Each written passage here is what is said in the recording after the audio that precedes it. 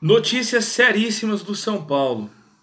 Galera, quais notícias a gente traz nesse vídeo de hoje? Ó, é, Marco Aurélio Cunha, presidente. Torcer o Flamengo. E Lucas Prato é oferecido ao São Paulo. Galera, antes de mais nada, gostaria muito de agradecer a todos vocês que se inscreveram no canal aí, que vem se inscrevendo. Muito obrigado. Aquele abraço. Agradeço de coração mesmo. A gente está chegando na tão sonhada meta de 10 mil inscritos. A gente está a 70 inscritos até o momento de da tão sonhada meta.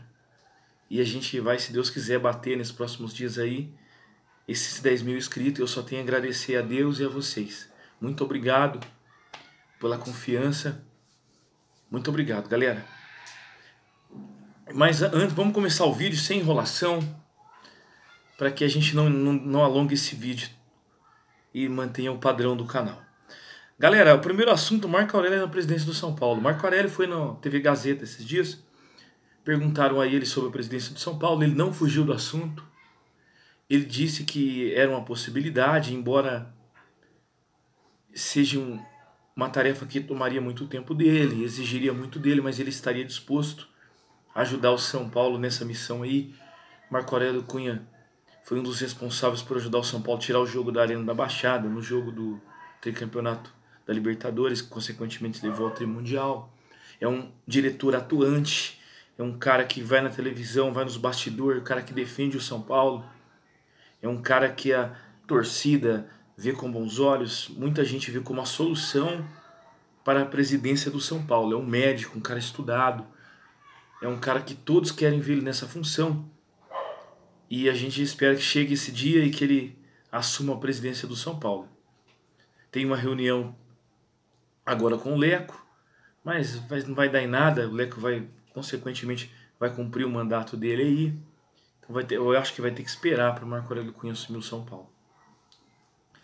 Outro assunto é torcer para o Flamengo. Galera, é, o Juan Fran deu uma entrevista e falou que o São Paulo é muito grande para para pensar em outro. O time grande só, só tem tempo para pensar nele mesmo. Eu concordo muito com o Juan Fran.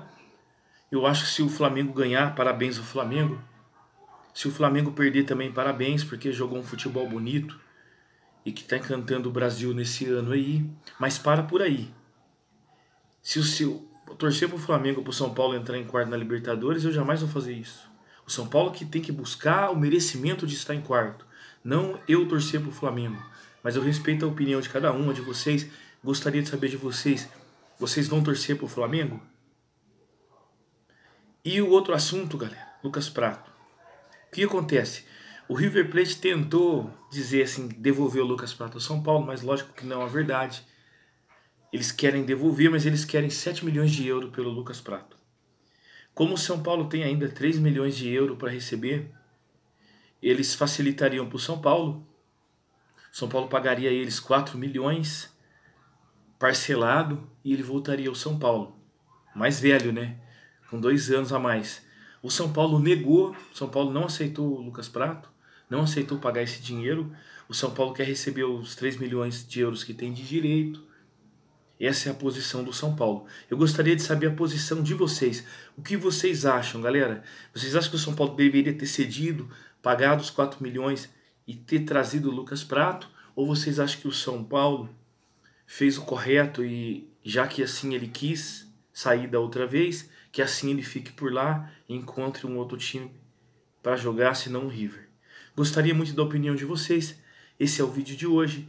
Fiquem com Deus, um grande abraço. Quem fala é Antônio Gomes, para o Papo de São Paulino.